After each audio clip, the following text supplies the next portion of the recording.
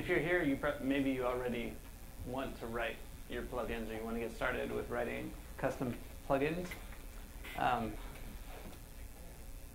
I've found in, in my environment that uh, we have about, I'd, I'd, say about half of the plugins that we use are custom written uh, because you can only go so far with the, with the uh, available built-in ones because life is complicated. And in particular, the difference between okay and warning is sometimes complicated. And you end up going beyond uh, the functionality you can get out of the box. I started early, everybody uh, who's just coming in now. You're not late. It's fine. The reasons why we are uh, speaking in Perl today uh, is because uh, it's familiar, it's uh, cross-platform. The CPAN, the Comprehensive Perl Archive Network, has thousands and thousands of modules to tie into uh, almost anything you can think of, from Lego robotics to Facebook to um, whatever. That'd be cool. And Nagios hooked up to a Lego robot, you know, that went and turned off the power in the data center or something, or whatever. um, in particular, the uh, the plugin or the Perl module for writing plugins uh, is well developed, and it's something that you might want to consider even if you're working in another language. Uh, as you know, as you design how you're writing your plugins, uh, they are both very simple and very repetitive uh, after you after you start thinking about more complex aspects of plugins. And so having a li library that you can reuse for all your plugins is an advantage. Um, Mike Weber earlier um, talked about how Perl plugins can be more of a performance load than compiled plugins. And uh, he cited statistics uh, that they can take 10 to 44 times as much resources uh, a plugin written in Perl compared to a C plugin.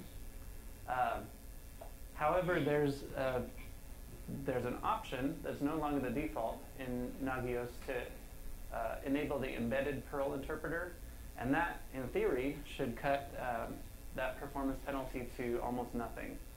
Um, in practice, we have a couple hundred checks on a Nagios server, uh, no, a couple, couple hundred hosts, each with maybe a dozen checks. We have no performance issues. The other things on the box are far worse than Nagios. But we are using the embedded Perl interpreter. Uh, there are some gotchas. I'll show you one of them as we go along when using the embedded Perl. Uh, but it's worth doing. It, it's a good way of doing things. Similar to the uh, mod Perl module for Apache back in the day. Uh, that was that was a way of increasing performance by a factor of 100 or something, uh, because you could you could compile Perl into Apache with mod Perl, and then it would know how to execute Perl scripts. It would um, so Perl CGIs would run just as as native C code uh, in Apache because it would first time it hit them it would interpret the script and then hold it in memory and execute it over and over again. And EPN works the same way.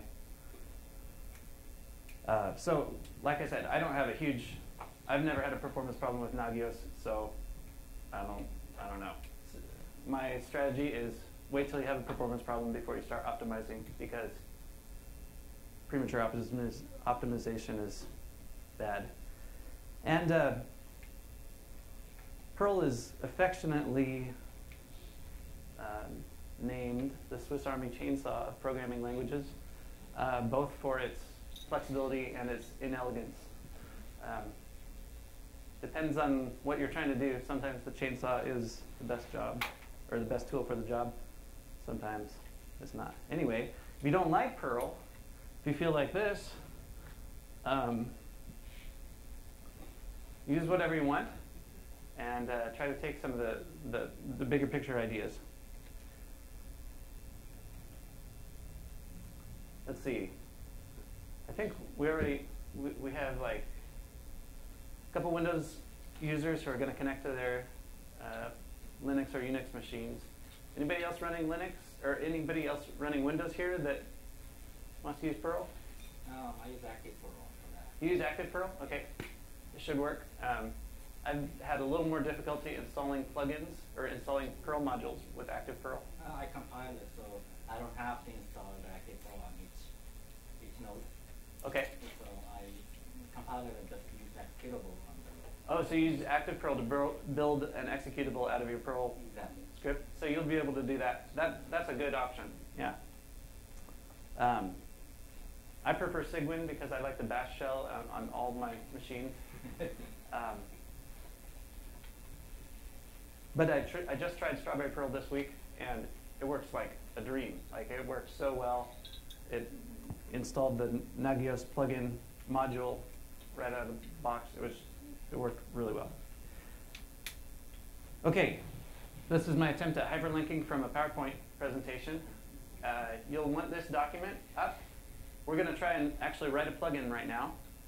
So this is the uh, master plugin guidelines spec. Uh, whatever language you're working with, you can use this to define how a plugin should behave.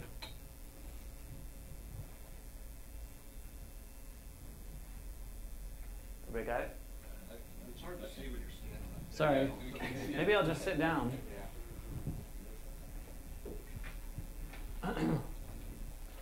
So we've got Perl. We're getting the documentation, the official spec. Oh, sorry. Anybody still need more time? Raise your hand. Okay.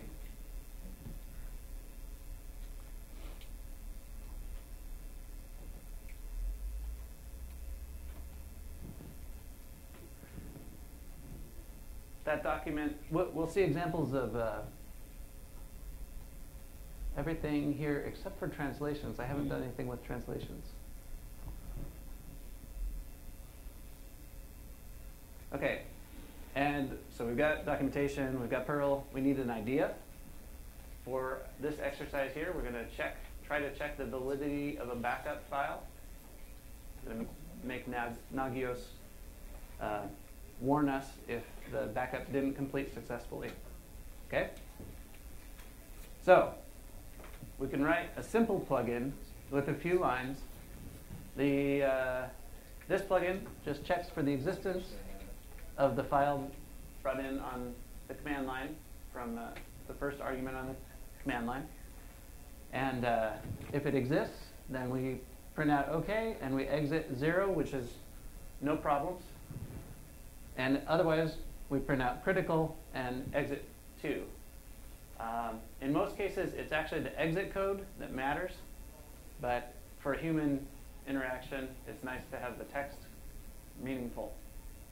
Okay, that's all there is to it. That's your first plugin. You could write this in any language.